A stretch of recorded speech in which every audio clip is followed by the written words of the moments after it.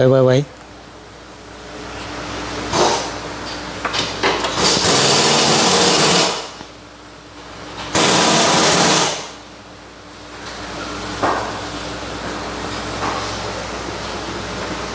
Hello，八代九代的车友们，大家好。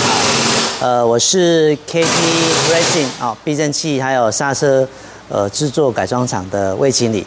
那今天要跟车友们来分享的是 Civic 的八代，因为我们是在八代九代的社团开直播嘛，所以车款的话当然是选择是八代跟九代了哈。那今天要安改呃改装的东西是 KT 的竞技版。那竞技版我们比较常在直播上介绍的应该是道路版的避震器，但今天的话介绍的是竞技版的设定。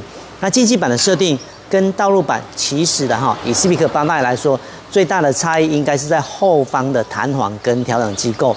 如果是一般车友比较多车友们捧场安装的是 KT 的道路板，后方配的呃弹簧是大圈径哈，我拿一个零件一下。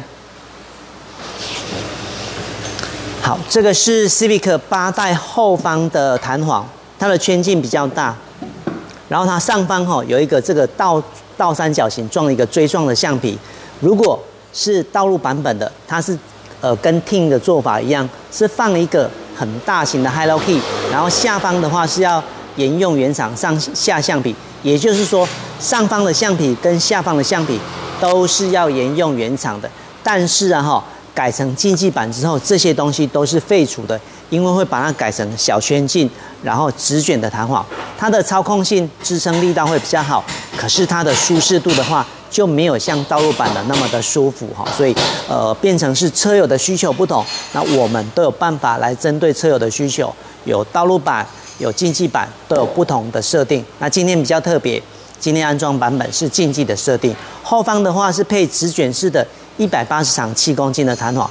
前面的话，原本道路版本的弹簧是直卷式的，哦不对，原本道路版的弹簧是灯笼状的弹簧，两百长七公斤，但是改成竞技版的时候是改成直卷式的弹簧，是两百长十公斤的弹簧，所以它的弹簧公斤数差了三公斤，而且弹簧的形式也不太一样哈，所以并不是说道路版比较好，或者是竞技版比较好，单纯是因为车主每个人驾驶习惯的需求不同。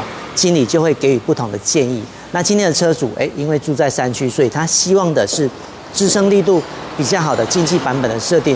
那 KT 的避震器哦，有一个很棒的地方啊，Civic 的八代，我们在呃龙潭哈桃园的经销商那一边的话，就有一模一样的车子提供竞技版的设定，道路版的应该也有。所以如果车友们要试乘的话，很欢迎在线上哈跟我们的呃小编哈或者是留言。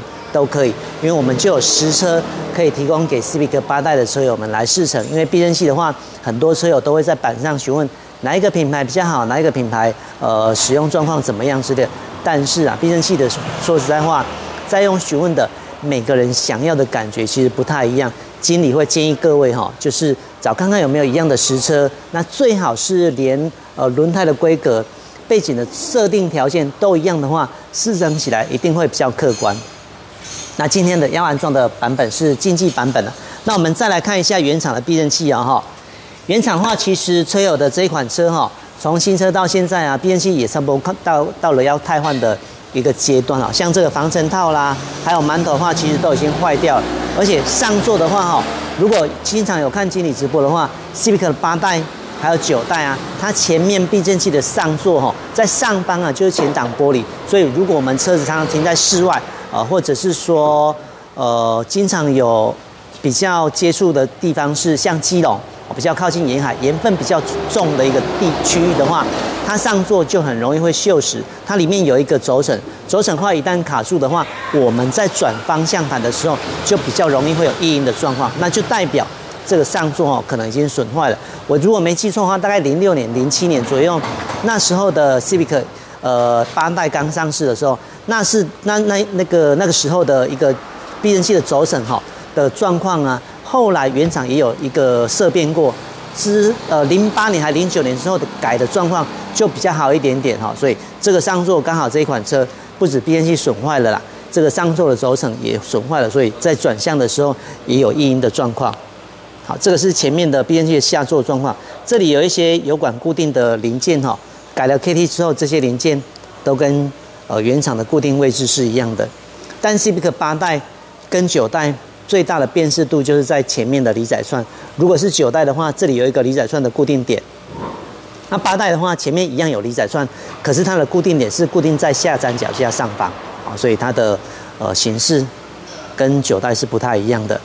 那后方的悬吊系统就差不多了，一样是一个呃多连杆的悬吊系统，但是这一款这一台车的这边的边器已经后方啊，这个是后方的，有一只有明显有漏油的状况。那我们换来介绍安装好的部分哈。今天的车友没有要把车高降得很低，所以就没有呃就不需要装仰角调整器。今天没有小编，我把镜头再把它翻过来一下哈。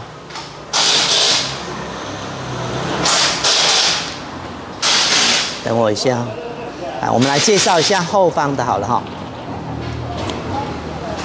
啊，翻一下镜头。来，这个是后方的悬吊系统。后方的话，哈，它的上橡皮啊，因为这个是竞技版本的哦，所以上橡皮跟下橡皮哈，就呃需要把它废除。好，那这个会改成是直卷式的弹簧。那这个的调整机构哈，调整机构的话是放在上方的。如果是道路版本，它是比较大颗哦，比较大颗。啊，这个是配直卷式的气缸机的弹簧。来，这个贴纸哈，这个是竞技版的贴纸，它的贴纸长得不太一样，但是对不到胶哈。好，这里看得到。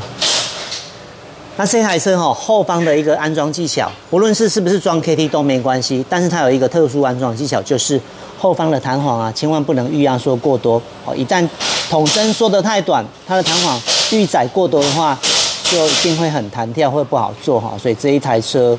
特别安装的重点哦，就是在后方而已。那在呃后方的筒身哈，它的上部啊，这里有一个防尘套。这个防尘套的话，也是做一个加长的规格。我们在车高放下来之后，它会往上缩。可是这样防尘套的话，它有办法来针对轴心做全面性的保护。那这款车如果了哈，车友们要降低的车高的幅度啊哈比较多的话，就会建议要改装仰角调整器。那这一台车原厂呃就是比较高规格配备的，所以它有配备 HID，所以如果要改装仰角调整器的话，要注意好后方的话，这个 HID 的水平感应的吊架一定要记得把它装好。好，这个是后方的部分。那后面的阻尼调整哦，就是软硬调整的话，是在行李箱的内侧哈，我们已经装好了哈，是在这个地方。我们把这个试探哈往往内掀的话。避震器的上部在这个地方，从这里哦就能调整到后方的阻尼值。啊，这个角度可以看到原厂的避震器拆下来。好，那我们换来介绍前面喽哈。前方的话是呃竞技版本的，所以配置的弹簧是两百长十公斤直卷式的弹簧。可是今天的车友并没有选择鱼眼上座了哈，因为鱼眼上座的话，虽然呐操控上比较犀利，可是它的异音率的话，相对的比较高一点点。好，这个台是 Civic 的八代。那八代跟九代哈，它在上座啊，在雨刷挡板这个下方的话，这里就有做一个维修孔。我们把维修孔把它打开之后，从这里就能调整到阻尼。M 大，你说哦，KT 有没有做短行程？哦，短行程当然有啊。短音绳的话，就是比较偏向呃竞技的一个设定，哈，有 KT 都有做，KT 连拉力的赛事啊都有都有做。好，这里的话有附上座，那经理刚刚介绍的哈，就是它避震器的上座啊的上方就是前挡玻璃，所以洗车也好，或者是下雨也好，它的水哈就比较容易从这里流下去，所以上座的话就比较容易生锈。那这里有涂附一些丑丑的灰色的东西，银灰色的，这个就是呃服饰的铝。一千一哈，这个是很高档的油脂。那所以如果车友啦很爱惜车子的话，其实可以，呃，大概三三到五个月左右，我们把这里哈喷喷覆一点那个黄油，它就比较容易防锈。那轴承的寿命也会稍比较长一点点。这个在引擎室里面。可以自己来做 DIY 的保养。好，那前面下座的部分哈，这里有油管固定架啦、ABS 感应线哈，这些当然哈都是要符合相关的一个固定安全规定。啊，前面的弹簧比较特别哈，因为这一台不是道路版的哦，所以它的配置不是灯笼状大卷的弹簧，它是配直卷的弹簧，两百长，十公斤。当然啦，这样的舒适度的话哈，就不会像 KT 的道路版那么好。可是它的操控性好，还有侧倾的抑制幅度的话，就会比较好。那线上的西比克八代、九代的车友，如果有任何问题，请立刻线上发问了哈，我会把镜头带到大家想要看的地方，因为我们安装到差不多了。好，这个是后方的部分。那在 KT 的用料哈，像呃我们里面填充的阻尼油是使用意大利 IP 的阻尼油。然后油封的部分，使用的是日本最大的品牌 NOK 的油封，所以耐用度的话都相当的不错。那 KT 本身就是一个制造的工厂，并不是委请他厂来做代工哈。所以如果啦用了三五年之后，哎，觉得阻尼油有裂化啊，甚至是有有漏油的状况，这些都是可以维修的。好，我们准备要装轮胎，要做路试的哈。那如果有任何问题，或者是有需要试乘的车友，再请跟我们联络喽。那今天经理的直播就到这里，谢谢大家，拜拜。